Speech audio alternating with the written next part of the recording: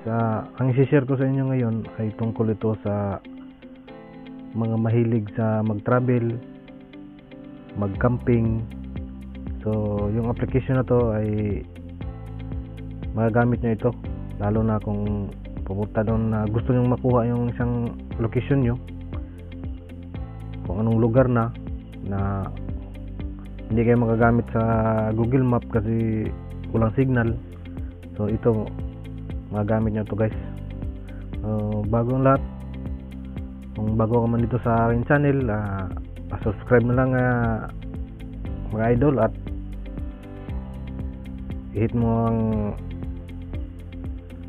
bell para updated ka sa aking mga bagong gagawing video so ngayon guys itong application na to ay offline maps download mo lang ito sa mga play store kung android gamit mo So, ito na siya ang kanya.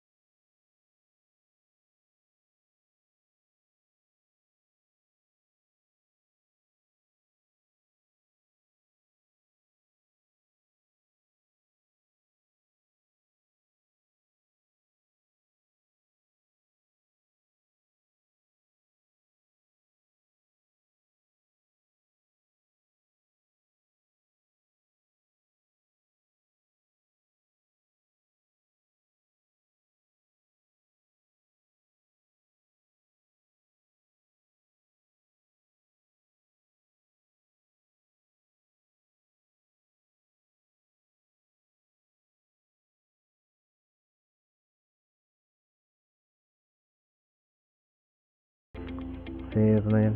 Ito lang yung dalawa lang, tatlo. Ito lang yung mga baguhin nyo.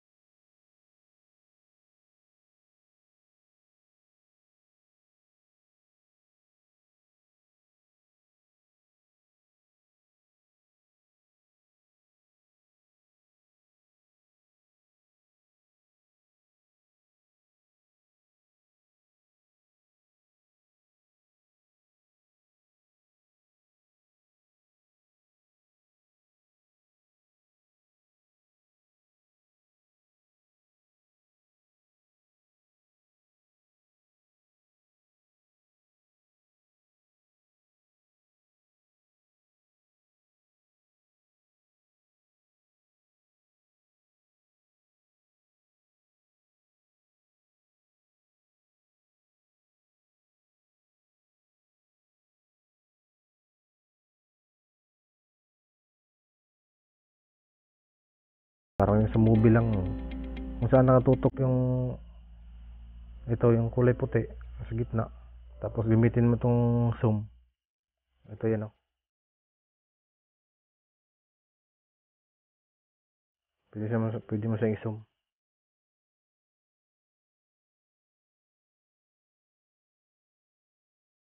O, oh, ganyan lang.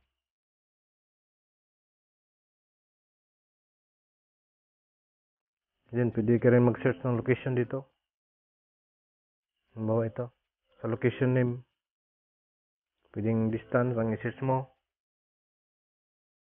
itong grid coordinate niya, MGRS. Yan, pwede mo. Eh, subukan natin itong location name. So, ganito yan. Halimbawa, itong Maramag Bukidnon. Search ko lang yan. Tapos ito. So, ito na siya. Ito yung resulta ng search niya. Yan. Pwede mo rin siya i-delete. Pinutin mo lang yung kulay violet. Ito. Tapos, click mo, delete. Wala na. Pagkuha ng location nito guys, ito. I-open mo lang itong GPS position niya. Ayan.